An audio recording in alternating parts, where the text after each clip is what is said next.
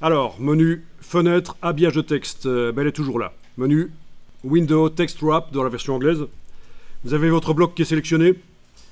Vous avez ici. euh, Ah, mais non, c'est pas celui-là évidemment, c'est l'autre bloc qu'il faut sélectionner. Ben oui, c'est pas celui-là qui habille. Donc, dans la palette des calques, on va devoir aller dans la palette des calques. On va déverrouiller le bloc qu'on avait appelé texte qui habille. On va verrouiller le bloc texte tant qu'à faire. Voilà.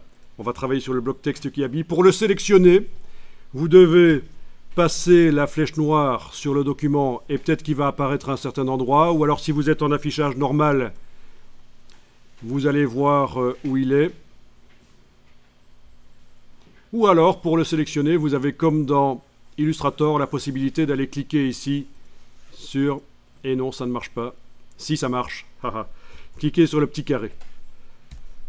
Voyez La sélection d'objets dans InDesign et dans Illustrator, c'est euh, par la palette des calques. Ça se fait non pas en cliquant sur la ligne.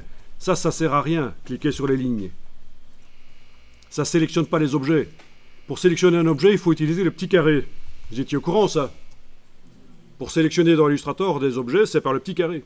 Enfin, il y a une petite cible, en fait, dans Illustrator, un petit rond. Ici, dans InDesign, c'est un carré, mais le principe, c'est le même. Voilà, il est activé, ce bloc euh, qui habille. Alors, voilà, donc l'habillage de texte me montre en effet qu'il y a un habillage. Vous avez ici l'habillage côté gauche et droit. Vous voyez que le texte se met à gauche, puis il ne peut pas se mettre parce qu'il y a le menton de la bestiole ici, puis il peut continuer là. Bon, c'est un peu foireux du texte coupé comme ça. Et c'est pour ça que vous avez une option que je vous invite quand vous faites de l'habillage de texte comme ça euh, à enclencher. C'est une option très intéressante, c'est l'option plus grande zone. Habiller plus grande zone. Euh, dans la version anglaise, ça s'appelle euh, hmm, larger, c'est ça? Larger zone, c'est ça ou quoi? Aria, ok.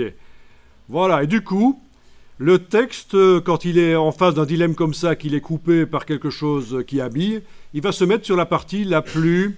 Où il y a le plus de place. Donc ici, il y avait apparemment moins de place que là, donc il s'est mis euh, de ce côté-ci. Donc pour la lisibilité du texte, ce sera mieux.